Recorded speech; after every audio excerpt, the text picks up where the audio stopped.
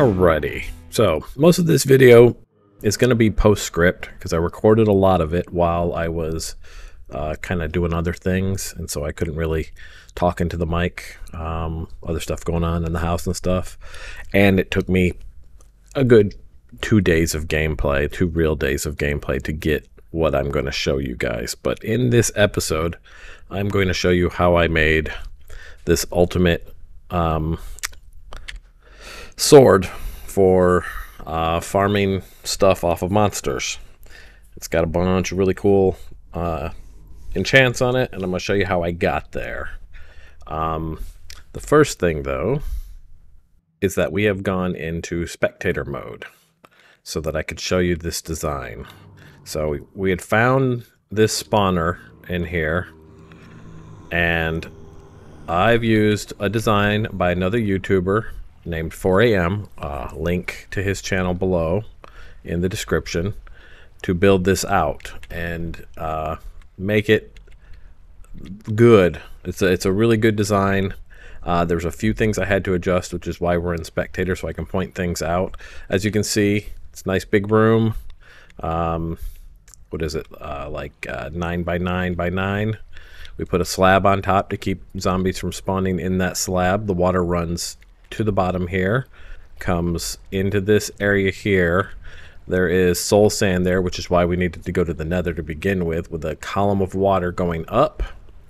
Um, and the changes I've made to his design are I dug out the bottom here and I put stairs, or not stairs, I'm sorry, I put um, walls. And then this ensures that they just kind of glide over these two block spaces here because they don't want to stay on there. Um, and then the other change is uh, you'll notice there's an empty, I've got glass in this column right here, and there's an empty with water going into it, that sign holding back the water. What that does is that pulls them further, just to make sure they get pulled all the way onto that bubble column where they're sent way up here. And they go across this thing of ice that we gathered last time, just to make sure that they're sliding nicely. And then they fall down there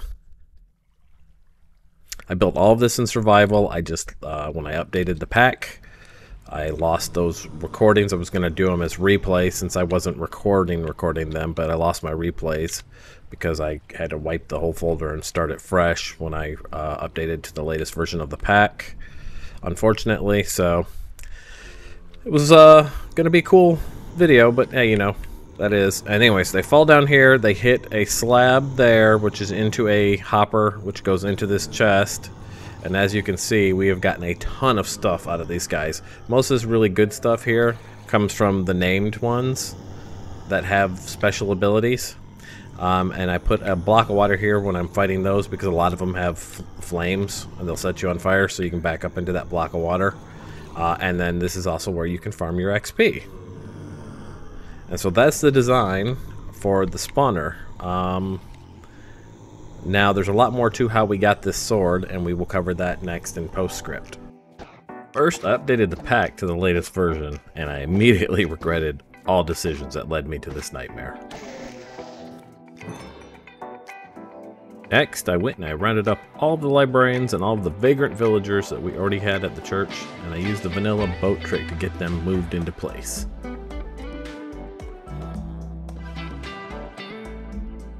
Some of them definitely came more willing than the others.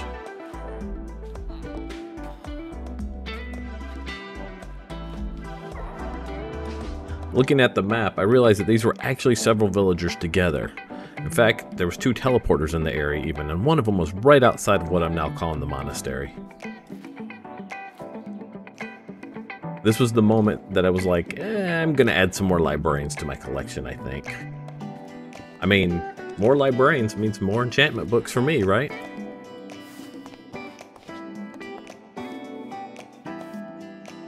While I was making new converts, I uh, quite accidentally discovered that you can actually pick up entities in this pack. Needless to say, I thought, man, this is going to make this a lot easier. We're going to have a lot of librarians. I knew I was going to need a lot of emeralds for this endeavor, so I started trading apples with the goblins.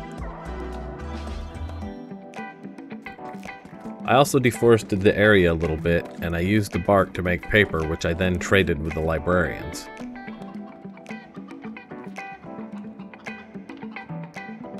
One dude even bought unwanted enchant books, so we sold him all of those for 5 emeralds apiece.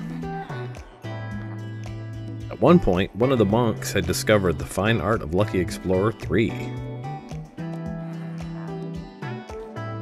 Which we quickly applied to a new pair of diamond boots.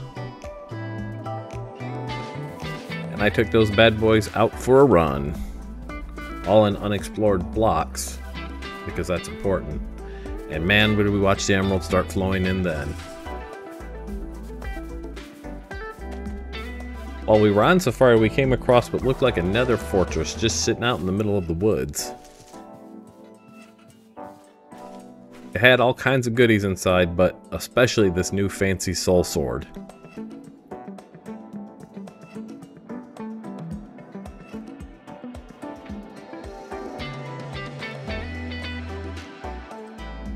There were also wither skeleton spawners here that I made a note of to come back for later. I did a little remodeling here at the church. As you can see, I'll show you. Um, I made the decision that this town really wanted to be librarians. Like everybody at this town, they told me they wanted to be librarians. Like this this Fletcher guy, he didn't want to be a Fletcher anymore. He said, "I don't want to be a Fletcher. I don't know why. I, I've always wanted to be a librarian." So, being that I'm I'm super kind and generous, and that we can do shift right click and pick people up, I figured, hey, you know, least I can do is help this guy out. Let's let him become a librarian. Because from what I hear, they, that's what they they all want. They all want to be librarians, see?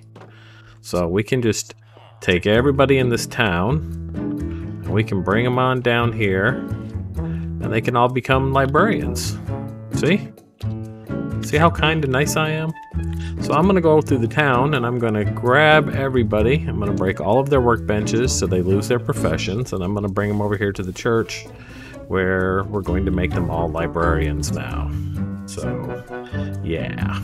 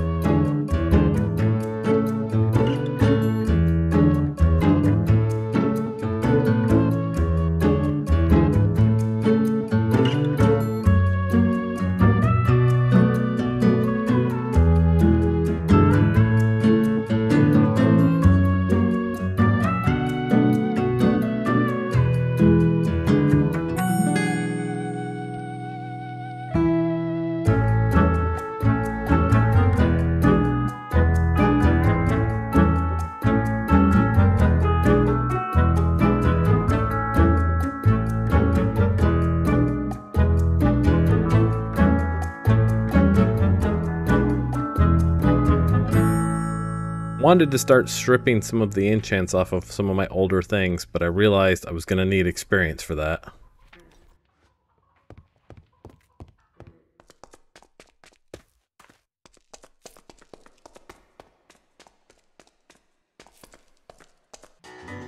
I began grinding the kills.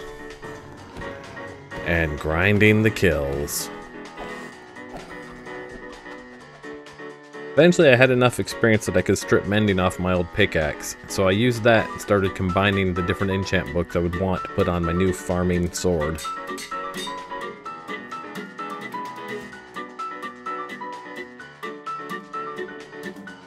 It did not take long to run out of experience again. So we started killing more zombies.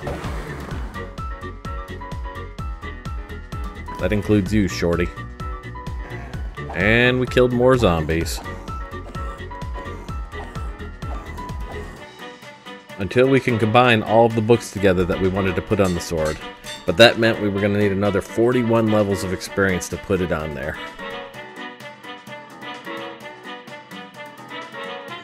It was back to killing zombies again. Only to be interrupted by winter having set in, where we had to huddle around the campfire and drain down some heat stones just to stay alive. But once it was warm, it was back to the grind.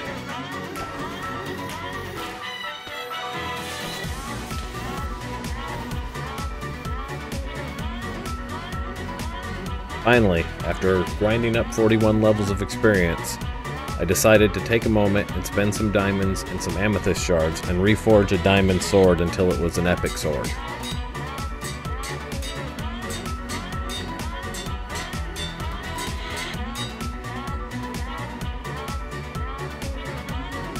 And then, at the cost of all those levels we had ground up, we had the perfect experience farming sword.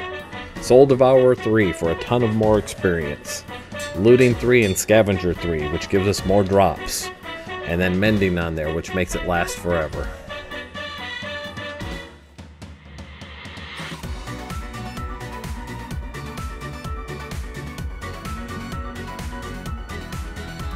We even named it XP Reaper.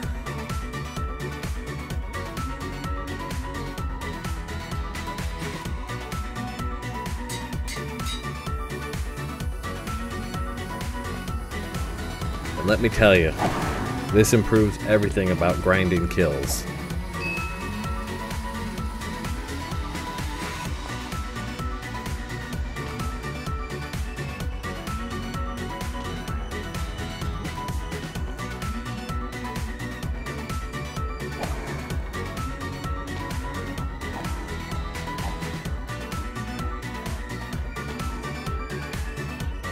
Oh, I even went back and added Prospector 3 to the sword, and now we get emeralds from the kills too.